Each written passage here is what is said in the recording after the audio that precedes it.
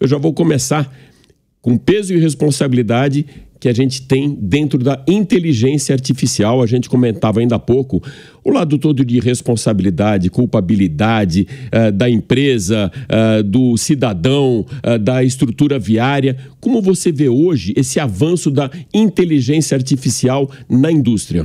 A gente tem, quando fala sobre inteligência artificial, que considerar que ela é como premissa, ela é um ponto de partida para um sem número de outras ferramentas e de tecnologias que vão se desenvolver. Então, por isso a gente fala sobre inteligência artificial como conceito, e daí a gente tem os diferentes modelos, né? Os diferentes tipos de linguagens que vão ser adotadas, né? O, o hoje a gente fala sobre os, os modelos de linguagem que estão manifestados aí no chat GPT, uh, no que é o da OpenAI, nas tecnologias que o Google colocou agora recentemente na conferência que foram anunciadas. Tudo isso são conceitos com base em inteligência artificial que são aplicados. Mas quando a gente fala sobre uso né, e aplicação, a gente vem de uma história de 20, 30 anos já usando inteligência artificial de maneira quase invisível está já dentro da indústria em grande escala, a indústria automotiva usa muito. Hoje a gente não tem mais aquela, aquelas linhas de produção com uh, pessoas trabalhando. A gente tem pessoas, de fato, operando grandes máquinas que estão autonomamente realizando tarefas. É que já foi até 4.0 e agora estão até estendendo tá isso, né? 5.0. Esse processo de, de industrialização com automatização, com automação, já tem inteligência artificial embarcado.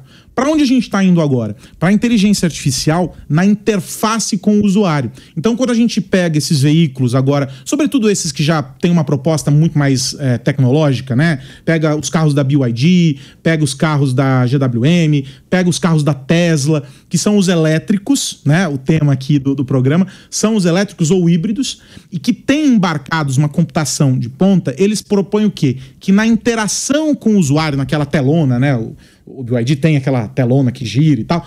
Esse carro, essa interação já é uma interface de inteligência artificial. A mesma coisa quando a gente instala o aplicativo do ChatGPT e faz uma pergunta para ele. Já é a inteligência artificial na linha de frente com o usuário. É isso que a gente está experimentando hoje. E o grande debate qual é? O grande debate é como a gente regula isso. E a regulação é uma palavra complicada nesse contexto. Porque como eu crio regras para algo que eu nem sei como é na sua completude? Esse é o desafio. Então, tem alguns textos, algumas propostas. Aqui no Brasil tem um texto bom do, do senador Rodrigo Pacheco, mas ele é bom dentro de um contexto específico. Quando a gente olha o macro, tem muito espaço para ser investigado ainda.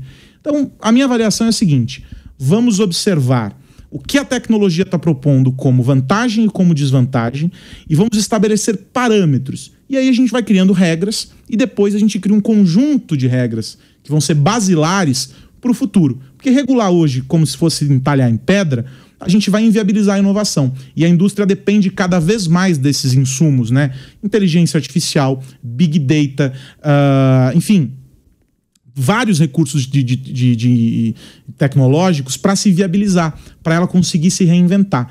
E aí, não só a indústria automotiva, mas toda a, a indústria, né? a indústria de maneira geral, depende disso.